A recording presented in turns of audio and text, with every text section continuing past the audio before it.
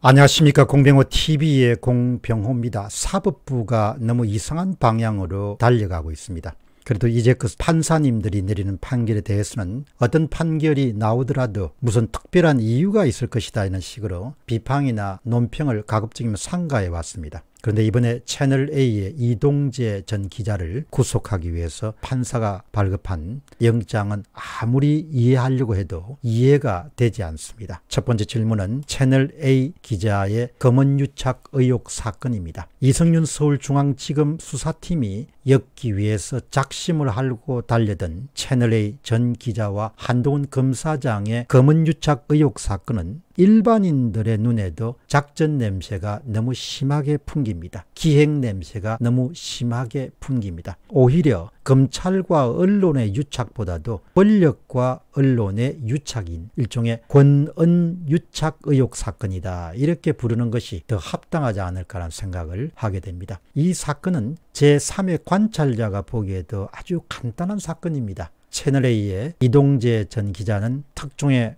깊은 관심을 갖고 있었을 것이고 이것을 나무랄 수 없습니다. 모든 그런 기자들의 욕심이기 때문입니다. 이동재 전 기자가 신라젠 사건으로 수감된 이철이란 사람에게 다소 과장되고 거짓 섞인 편지를 보내서 유시민 씨 등의 연루 여부를 확인해 보려고 했습니다. 이것을 알게 된 여권 국회의원과 사기전과자, 제보자죠. 신여 방송 등이 힘을 합쳐서 채널A의 이동대 전 기자를 함정으로 유인했습니다. 마치 첩보 영화를 보는 것 같습니다. 만남 장소에 미리 몰래 카메라까지 설치했습니다. 물론 이들의 목표는 기자 자체가 아닙니다. 윤석열 검찰총장의 척근으로 불리는 한동훈 검사장을 엮은 다음에 그 다음에 한 검사장을 빌미로 윤석열 씨를 아웃시키는 그런 기획하에서 움직였다고 봅니다. 한동훈 검사장은 이미 미움을 받기에 충분한 사람입니다. 조국 등 현 정권 수사를 담당해 왔기 때문입니다.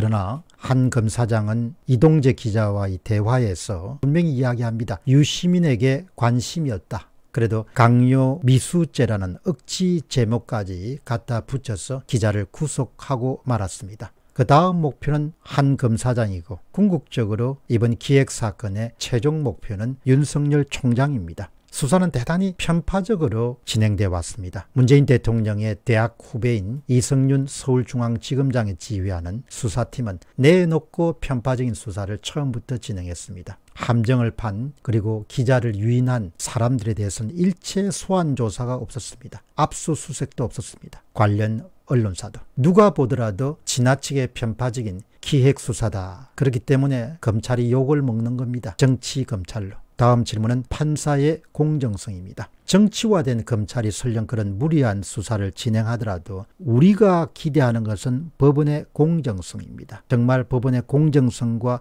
객관성은 대단히 중요합니다. 정치화된 검찰에서 한 금 더 나아가서 정치화된 사법부, 정치화된 판사라고 불러도 손색이 없을 정도로 이번에 영장 담당 판사인 김동현 판사가 행동하고 말았습니다. 영장을 발부한 김동현 판사가 밝힌 구속 사유는 누가 보더라도 지나치게 정치적입니다. 지나치게 정치적이고 노골적으로 정치적입니다. 내놓고 정치 행위를 했다. 이렇게밖에 판단할 수 없습니다.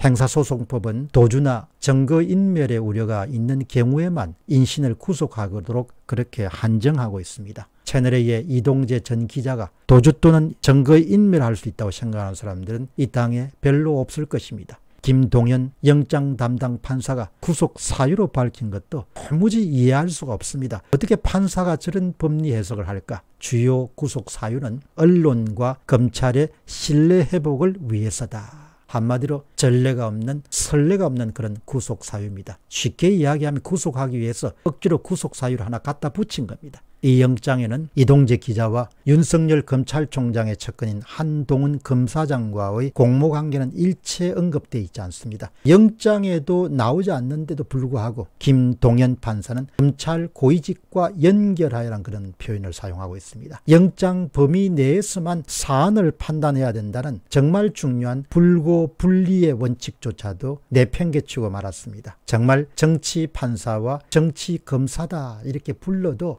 아무 아무런 무리가 없다는 그런 생각이 들 정도입니다. 판사 스스로 정치적 편견을 대놓고 법적 판단의 기준으로 삼고 말았다. 훗날 대단히 부끄러운 사건으로 기록될 겁니다. 다음 질문은 김동연 서울중앙지검 영장 담당 판사입니다. 김동연 판사는 2020년도 2월 24일 날 정광훈 목사를 공직선거법 위반 혐의로 구속영장을 신청한 바가 있습니다. 이때도 논란이 참 많았습니다. 김동현 판사는 1971년생입니다. 전북 남원 출생으로 서울대 법과대학을 졸업한 인물입니다. 사법행정권 남용을 견제하기 위한 명분을 내걸고 설치되었던 법관 대표회의가 2020년 4월에 첫 회의가 열렸을 때 김동현 판사는 부의장으로 선출된 바가 있습니다. 2018년 10월 23일 날 시사저널의 조회수 기자는 김동현 영장 발부 판사를 두고 당시는 인천지법 부장판사였습니다. 전국 법관대회를 주도하는 차세대 리더라고 그렇게 높게 평가했습니다. 이렇게 가다가는 나중 에는 판사님들이 아니라 판사니언들이란 표현을 앞으로 유행할 것으로 봅니다. 이 땅에서 상권 분립의 와해와 붕괴에 더해서 일부 판사들의 정치화 현상은 더욱 심해질 것으로 봅니다. 모든 판사가 아니겠지만 일부 판사가 사법부의 이미지에 먹칠을 하고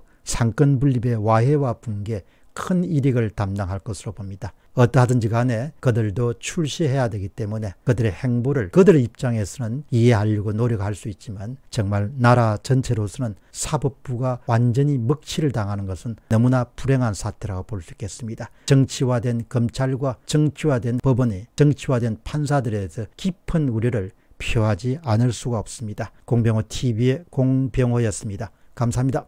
여러분들에게 구전 녹용을 소개합니다. 구전 녹용은 질이 뛰어나고 비싼 러시아산 녹용을 사용하고 있는 건강식품입니다. 씩씩함을 유지하는 데 도움을 주는 구전 녹용을 구매하기를 원하시면 설명글에 링크를 누르시면 매장으로 연결됩니다.